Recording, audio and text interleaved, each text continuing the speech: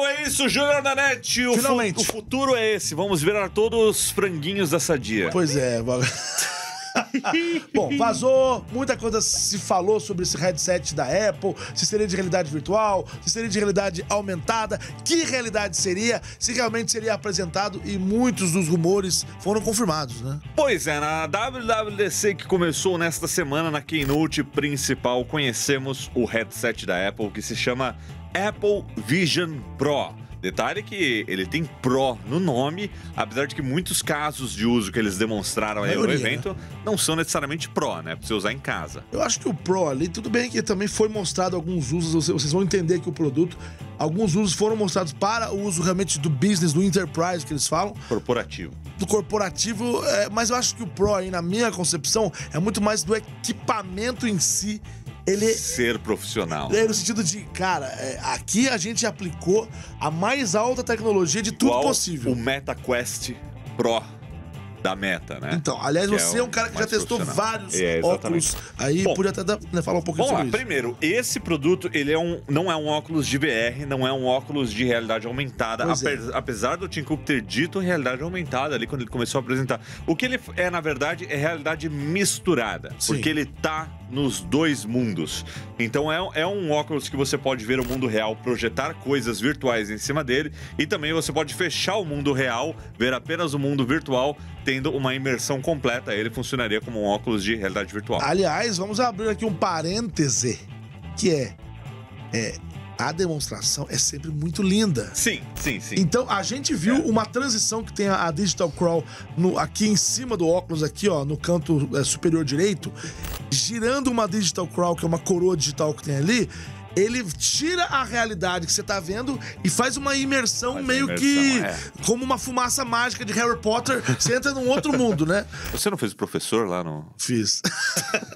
Então vamos começar falando sobre o design desse produto e olhando de longe até mesmo as fotos reais dele, que o pessoal que tá lá testando Sim. lá na, na sede da Apple hoje, que não tá testando, né, na verdade. Tá olhando. Tá olhando, Tá né? O pessoal- é um eyes on, não é, um hands on. Não, não dá pra testar põe a mão. Então, quando a gente olha esse produto, a gente vê que ele tem um design realmente futurista, né? O, o alumínio curvo na construção, o vidro curvo na frente também chama bastante atenção e é diferente de todo produto que a gente já viu Exatamente. dessa categoria. Quando foi vazado, todo mundo fala, ah, parece um óculos de esqui. Realmente lembra um pouco óculos de esqui. Não é um design, é, digamos, sei lá, agradável aos olhos de quem tá pro lado de fora. Eu digo que ele não é leve, é um design realmente que você vê que a pessoa tá É, ali é. naquele mundo paralelo dela. Mas é inegável que ele tem a assinatura de design da Apple no sentido de das curvas e tudo mais, mas não deixa de ser um trambolho, né? Assim, Ele dá aquela né? sensação dos AirPods Max quando eles foram lançados, que o design é era diferente e tal. Falou, mas, mas isso daí É, e tal, mas aí vamos ver qual é que é. E no fim, legal. É uma mistura, essa parte dessa, dessa band, dessa headband, lembra muito as pulseiras do, do Apple Watch novo, do Ultra, a- o Sobre- material e tudo mais, né? Sobre essa alça que prende aqui atrás na cabeça, parece que tem uma opcional também que prende aqui em cima. Que fo- ap- apareceu em alguns momentos ali do vídeo. Tinha, ocasionalmente uma pessoa tava usando um, um apoio aqui em cima também. Ah, vai né? ter muito acessório. Eu acho deve que ter vai. cor de alça diferente pra você comprar, e acho isso aí que vai. deve ter muito. Então, esse é o design desse produto. E vamos falar um pouquinho sobre as especificações, mas antes disso, qual que é a proposta? Qual que é o. Ele é desenhado de uma forma que. E, aliás, me enganou isso durante a Keynote, eu preciso fazer um adendo aqui. Porque eu achava que o vidro ali ele era transparente. Sim. E aí fechava a tela com alguma tecnologia nova aí de tela. Ah, porém, assim, não fui só eu que fui enganado também. Eu vi alguns veículos aqui, alguns Sim. coleguinhas de trabalho também acharam isso. Então a Apple tá fazendo o quê? Ele projeta uma imagem na frente, ele tem uma tela externa que projeta uma imagem dos seus olhos, como se fossem os seus olhos, para você conversar com as pessoas e as pessoas conversar com você, sem você ter uma tampa de plástico aqui É. na frente. Vocês vão entender que é, existe um é, mapeamento dos pontos do seu rosto, que eles chamam de é, digital persona, e aí sim eles vão é, conseguir reconstruir essa parte aqui do olho e projetar nessa tela OLED curva que fica pro lado de fora, que é diferente da tela lado de dentro. Então ele tem uma tela a mais ali do lado de fora, que também sinaliza que você tá vendo o ambiente. A hora que você coloca um conteúdo que tampa a tela toda, né, mundo virtual, aí passa uma animação ali, umas cores, pra pessoa que tá olhando pra você ver que não, peraí, agora ele tá no mundo virtual mesmo. É, ele tem um modo de transparência, né? De realmente você tá É. ali vivendo alguma coisa, chega alguém perto de você, ele tira você daquele Mas- universo e faz essa transparência. Isso é feito com uma tela externa É. que Que não é um vidro transparente. Nos vídeos tá tão legal o movimento dos olhos, tudo mais, que eu achei que era um vidro transparente. Agora, então... por que, que a gente sabe que isso não é possível? Porque depois, quando eles mostraram a estrutura interna, você vê que é duas cavidades pros olhos aqui, Isso. ó. E aí você não vê o nariz, não, tem- não teria É. como. Se fosse transparente, você ia ver só duas bolinhas, assim, tipo, ia ser bem Não, mas esquisito. ser, né? também ia ser super futurista, um vidro transparente que de repente cobre com a imagem. Já tem isso. no É, já mercado, existe Mas TVs na e- qualidade que eles estão prometendo, com duas telas internas, uma para cada olho, com uma E resolução. bloqueando a luz do jeito que tá bloqueando, Ah, né? então, eles prometem aí nas telas internas uma resolução superior a 4K em, Em- cada em olho. cada olho. Em cada olho, um pouco mais do que 4K. Ah, e telas que usam aí tecnologia micro OLED, né? Isso. A gente não ouve falar muito de micro OLED, a gente ouve falar de micro LED. TVs aí já tem. A gente falou da TV de um milhão de reais da É. Samsung de micro LED. Tem de mini LED, que já tá aí, né? Tem de OLED. Micro LED, olha só que loucura. Eles estão falando em 64 é, pixels em cada espaço de um pixel do iPhone. Então, se você for ver a densidade de pixels deste produto, é 64 pixels dentro de um, um pixel só do iPhone. O É muita coisa. É necessário para você ter né, uma projeção de objetos virtuais que vão mesclar com o mundo real e vai ficar convincente mesmo. Você vai Isso. tipo, opa, tá legal mesmo, né? Então, uma densidade de pixels aí altíssima. E isso vai permitir, por exemplo, isso que vocês estão vendo aí, ó, que a hora que é, esse objeto virtual caminha na sala, ele gera uma sombra no chão, É virtualmente, né? Ou a luz de fora vai, vai interagir com esse elemento virtual. Então, essa é- é- essas são as specs aí de vídeo. Nós temos também áudio espacial, né? Então, tem dois falantes aqui do lado, nas laterais, com Sim. um sisteminha que projeta o áudio já direcionado para você. Exato. Né? Pro, pra- pro seu ouvido. Mas, aquela coisa, né? Não tem cancelamento de ruído e tal. Em alguns momentos que ele mostra, mostra ali o uso no avião, eles estão usando AirPods aí É, aí fazer. tem que usar um fone de ouvido e vai ser compatível com, com dispositivos Bluetooth. Isso, foi- isso foi dito para você usar com teclado, para você usar aí. com mouse e com fone de ouvido também, claro, né? Agora, sobre os sensores aí, pra gente terminar esse papo sobre o design, na frente são oito câmeras. Você tem duas câmeras principais, que inclusive servem também pra gravar conteúdo em 3D, pra você visualizar sim, é. depois no óculos.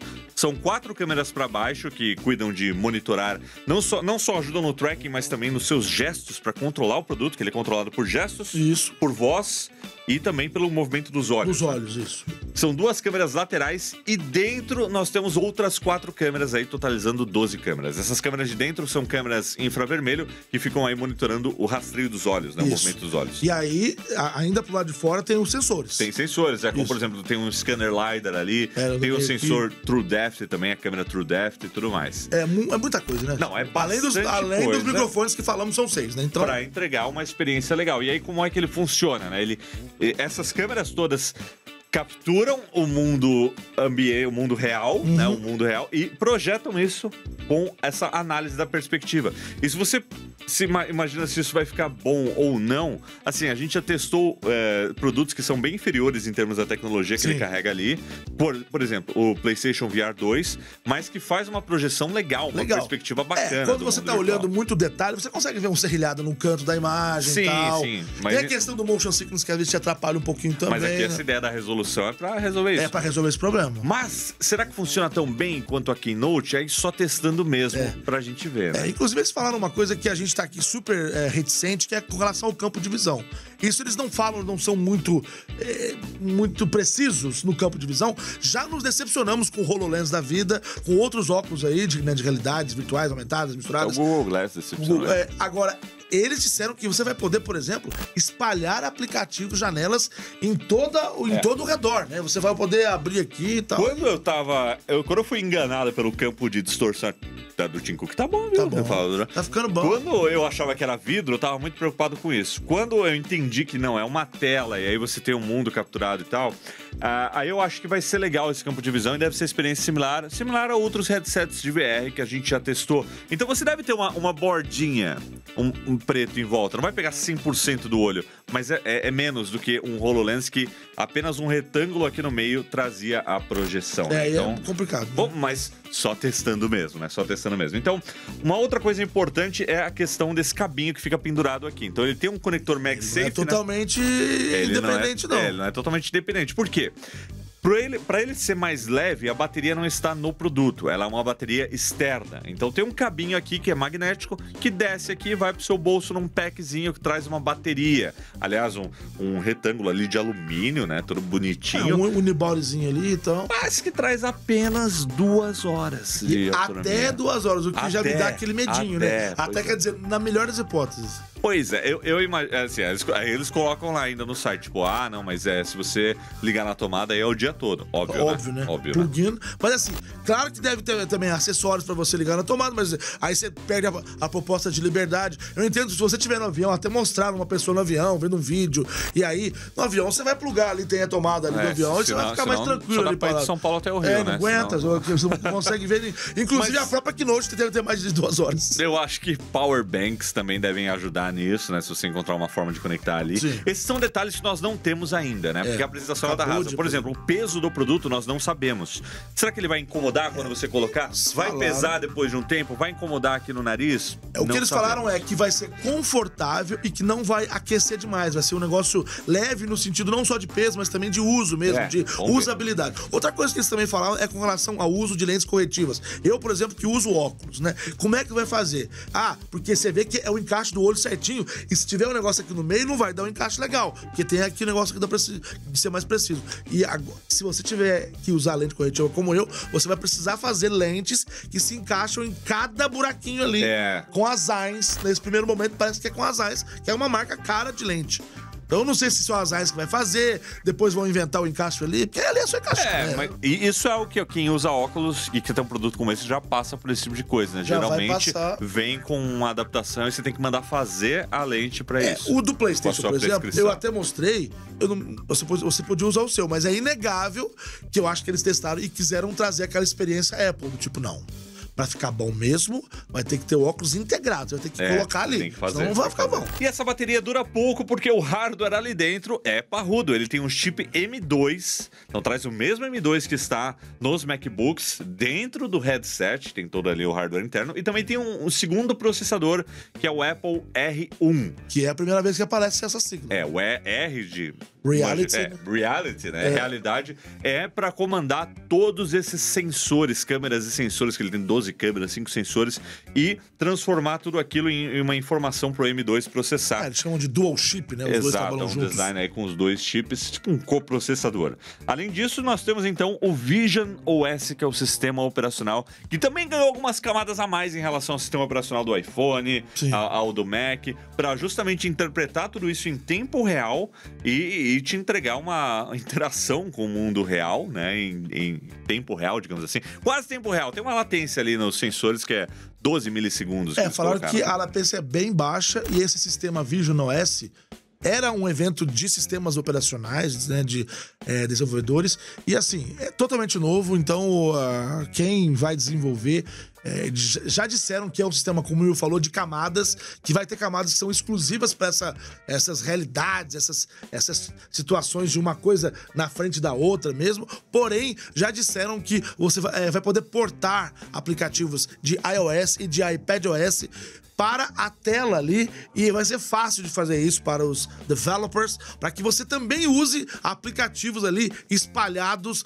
na, na visão do seu Vision Pro. Ele vai vir com um sistema próprio com os aplicativos nativos. Esses aplicativos nativos interagem com o ambiente. Então você posiciona o negócio aqui, ele fica aqui, você interage com gestos, mas é isso, você pode trazer aplicativos de outros, como o iPad, projetar ali e deixar ele ali numa janelinha. Uma outra coisa legal desse sistema é, é interações com os outros produtos, como por exemplo o MacBook, né? Uhum. Eles disseram ali na demonstração que só de olhar para o Mac tudo já entende, Aí já tem conversa. o track dos olhos ali, é, na. Você olhou pro Mac, pum, a tela do Mac apaga e cria uma telona virtual projetada. E aí, vocês estão vendo aí que a pessoa ela pode trabalhar e aí no movimento de pinça ela pode aumentar a tela para como eles são uma experiência quase que cinematográfica, cinematic, é, enfim. Aí eles aumentam a, a tela para que você ou é, consuma um conteúdo ou para ou ou que você trabalhe. Enfim, no caso do vídeo, ele tá sentado na cama mas pode ser vários, é, então, vários usos. Né? É isso, né? Em muitos momentos desses vídeos está uma pessoa em casa, curtindo a vida Sim. no mundo virtual. E por isso que esse nome Pro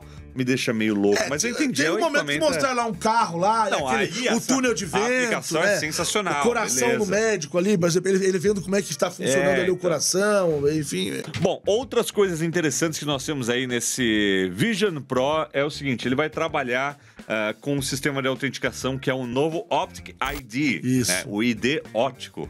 E ele vai escanear mesmo a íris. A gente ouve muito falar sobre isso, desde muito antes de outros smartphones. Ah, mas era uma coisa bem 2D mesmo.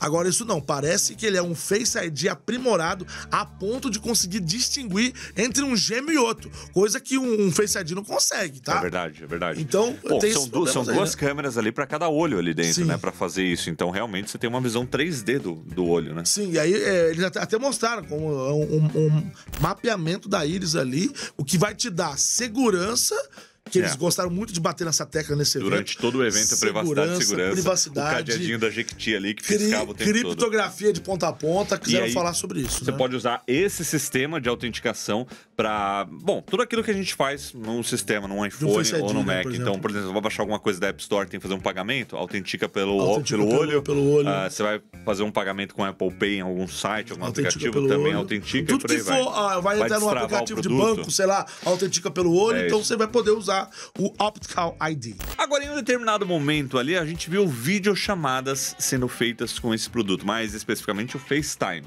Nesse momento do evento, tem uma mulher ali no quarto, aí entra uma pessoa na chamada, aí entra Mais outra, uma, aí tá. ela tá fazendo uma apresentação. Interagindo com o fundo ali. E eu então. fiquei louco na hora, na live, que eu falei, e tá, e como é que o povo te vê? Legal, mulher? tô vendo todo Como é que o mundo, povo tá super vê? útil pra eu ver, mas e o povo? Eles ignoraram nesse momento, passaram meia hora falando de outras coisas, depois voltaram. Na hora que tava falando do Optical ID, falaram do Digital Persona, é isso? Isso. Eu- o que eu comentei mais cedo que devem usar também pra.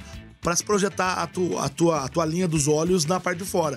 Não, o que, e é aí- isso, Digital Persona? E aí você usa o óculos, os sensores externos. Segura pra aqui, lado de fora. Aqui, né? Essa parte é bem tecnológica. né? Você aponta o negócio aqui pro teu rosto. Lembra o Face ID, né? Le- Lembra o Homem de Ferro lá, projetando o negócio. Zzz. A- Aí ele meio que escaneia o seu rosto e gera uma versão digital do seu, tipo um avatar. É, mas não é mimoji, não. É tipo como se fosse realidade mesmo. É. Você, com a roupa que deve, sei lá, escolheu, tá no dia, não sei.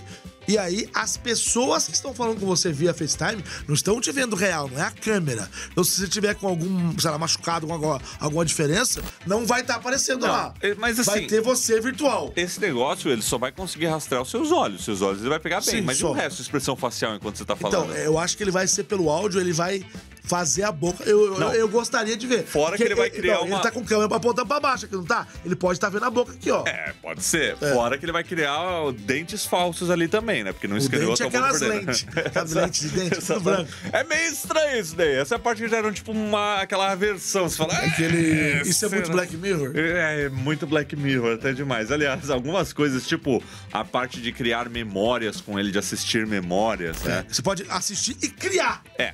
Você, assim, assiste qualquer coisa nele, obviamente. É óbvio, você, você pode, pode por qualquer assistir aplicativo. A Apple mas TV Plus. com ele, Disney você Plus. grava vídeos 3D. Que aí depois, quando você tá assistindo com ele, tem é uma experiência um pouco mais imersiva, né? Então. Uhum. É estranho você estar interagindo com seus filhos, usando um óculos daquele, seus filhos brincando na sua frente. É, porque Tudo bem que você você tá, tá um filmando, você tá aqui, né? filmando. Se- é, mas é um momento especial É. ali, todo mundo vai ficar olhando pra tua cara. Você Ih, quer ó gerar lá, uma ó. imagem 3D, mas você tá de Ó, capacete. o homem do futuro, mirou no futuro, acertou no franguinho da sadia. É lá.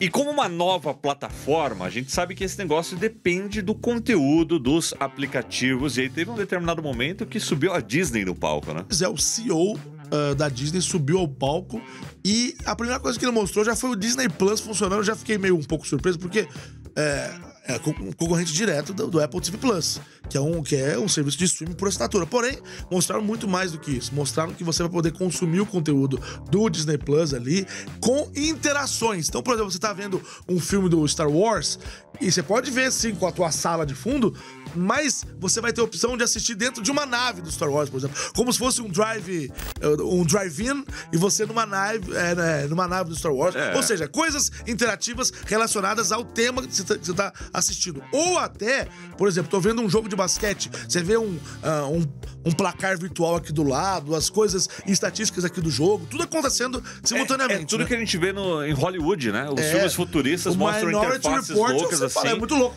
E tudo aí, acontecendo. Será que esse futuro tudo chegou. Olha aí, e diz que esse conteúdo da Disney já vai estar disponível desde o day one, do dia 1 do produto. Entregou e vai estar funcionando. É. Agora, quem não viu ainda essa história, que não tá por dentro, se prepara. Vê se você tá sentado aí agora, É, que vamos você falar do tá- preço. Se você tá acompanhando, você Preço já sabe que não ia ser barato. disponibilidade, E é- foi mais caro do que, Mais caro do que era do rumorado. que era rumorado, que já era absurdamente caro. 3.500 dólares é o preço do Vision Pro da Apple, que vai ser lançado no começo do ano que É, vem. falaram next year, não, é- não, não deram data, só Então, pro ano que vem Nós mesmo. temos aqui um produto que é tipo o primeiro Apple Watch. Ele é anunciado, Uhum. fica mais pra frente, e aí os desenvolvedores têm tempo de ir criando algumas coisas para que ele seja lançado já com experiências. Então é isso, qua- quase 20 mil reais. Quase todos esses produtos, a gente lembra do iPhone que foi lançado em janeiro, foi ser vendido em junho. É, o Apple Watch foi outubro que ele foi lançado, foi ser vendido em, em março. Agora, É. esse é mais de seis meses. Então, realmente, eles estão preparando um terreno bastante Fica muito longe. claro que esse não- produto não tá pronto. Até porque ele tá sendo apresentado agora na WWDC e o pessoal que esteve lá com o nosso ilustre Tássio Beloso Sim, que participou da live, inclusive. não, não estão podendo pegar o produto na mão e testar, né? Ele, nesse primeiro momento, ele tá numa redoma. no ali primeiro no- momento, eu não, eu não sei o que vai acontecer depois, mas no primeiro momento, realmente. Mas assim, e aí fica a nossa, nossa opinião agora, que é o que o povo quer saber. E aí? A primeira coisa é. A gente tem que gerenciar as nossas expectativas. A apresentação sempre é linda e não é só da Apple, não. Todas essas keynotes de produtos que projetam elementos virtuais são são maravilhosas. É tudo coisa linda. Até você ir lá e testar. E aí pode ser bom ou pode ser ruim. Já tivemos uma grande decepção com o HoloLens. Sim. O Que era, HoloLens, assim, era a gente falou fantástica. que queria comprar o Ah, negócio. eu, eu lembro que depois da live eu falei, eu sou o primeiro da fila, isso aí é maravilhoso. E assim, esse produto é caríssimo, não é pra qualquer um, não só pelo preço, como também pra usabilidade. Quero testar? Claro que quero testar. Isso aí eu não sou, eu não vou mentir. Mas é um produto caro e digo mais. Segundo analistas informam, antes mesmo da- desse lançamento, que a Apple estaria subsidiando uma parte, que parece que ele é mais caro do que isso, Nossa. mas que eles têm a intenção de fazer emplacar. Será? A Apple perdendo dinheiro? Não sei não, mas enfim. Eu acho que, assim, a minha opinião, eu já testei vários produtos dessa categoria, inclusive É o, o Meta Quest Pro. Eu acho que, assim, ali já tá funcionando bem essa questão do tracking, do mundo, do mundo real por uma projeção virtual na tela, sabe? Então, com essas melhorias de hardware, acho que ele tem potencial de entregar o que eles estão prometendo, porém, tem que testar, tem que testar. E eu acho que esse produto vai ser uma coisa de você tem que experimentar. Não adianta alguém, a gente testar e falar, ó, é muito legal a experiência e tal, porque não dá pra passar essa É experiência. indiscutível. Eu quero dar um exemplo rapidinho aqui, né? Na, na última CS, eu queria ter feito um vídeo aqui pro canal, que era o notebook mais impressionante que eu vi na CS. Ele era um, um, um, um- notebook da Asus, um ProArt, que tinha uma tela 3D. Que eu nunca vi um 3D tão E impressionante. como é que você vai falar? É Porque eu vai explicar pegava isso? o objeto com a canetinha deles, eu puxava aqui, ele saía da tela, cara. É impressionante. Só que não tem como mostrar É, isso. não tem como. como mostrar Como é que você isso. vai pegar uma câmera e vai colocar dentro desse negócio aí? Não, você Como é até que você vai- consegue, mas não, você sim, não mas vai- não, não mas vai não- ter- mas não vai você não vai, não vai ser igual, por exemplo, uma coisa que eles mostraram lá é que você vai poder ver é, imagens panorâmicas como se fosse com uma tela curva. É. Então você pode ver uma imagem panorâmica, você tirou uma foto panorâmica com o seu iPhone.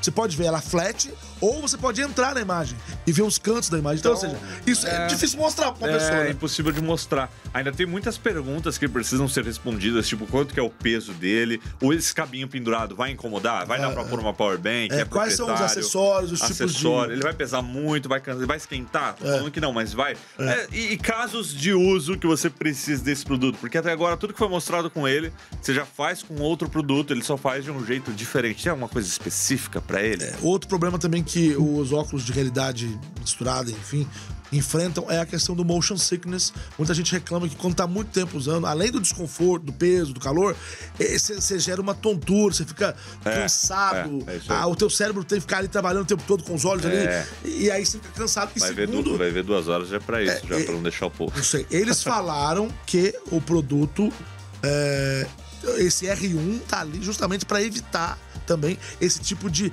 sensação de movimento que incomoda. Vamos ver. A conclusão num primeiro momento é muito legal. A promessa é muito É legal. impressionante. A promessa realmente impressiona está tá empolgante. É empolgante. É né? empolgante, mas temos que testar e E mesmo se for assim, 3.500 dólares ainda é Não, é empolgante, mas é caro. Isso É um, é, é um é caríssimo. produto que precisa. É um primeiro passo. Acima de tudo, ele é um primeiro passo. Ele vai precisar evoluir muito, ficar muito menor e muito mais barato se a Apple quiser que esse seja o futuro mesmo. É, a gente tem que lembrar que se você fizer uma, uma conversão direta de 3.500 dólares sem impostos, beira quase dá 18 mil reais, é quase 20 mil reais. Então é um valor altíssimo e a gente não tem ainda informações quanto ele vai chegar no Brasil, né? Se chegar no Brasil. Tem nem página em português. Porque ainda. tem, tem, é, porque, exemplo, tem produto que nunca chegou no Brasil, como HomePod, nunca chegou É. no Brasil. Eu Acho que nesse primeiro momento esqueçam. É. Mas, gente, é isso que a gente tinha pra comentar aqui. Essa é a nossa opinião. Mas o que, que você achou desse produto? A gente convida todo mundo a participar aí dessa discussão. Comente aqui embaixo. Comenta aqui o que, que você achou. Assista a nossa live pra pegar o react, pra pegar eu caindo na conversa de que o vidro era transparente também. Todo mundo caiu. Essa gafe. A gente caiu. todo mundo. É, se vocês quiserem saber mais sobre esse produto, comentem aí também, porque a- a- os próximos meses vão ir surgindo detalhes, É. testes, e a gente vai descobrindo um pouquinho mais, mas temos a intenção de trazer ele Com pra você, pra certeza. gente testar aqui. Mas é só a coisa, é essa, coisa de trazer só pro ano que vem mesmo. E é isso daí. Comenta aqui embaixo, deixa seu like, que pra gente é muito importante. A gente cresce aqui nessa plataforma. Se você for inscrito no canal, clique no sininho pra ser notificado nos próximos vídeos. Agora, se não for inscrito, inscreva-se agora, que ajuda também a gente a crescer, tá bom? É isso, valeu galera, até a A próxima. gente se vê, seus maracabados.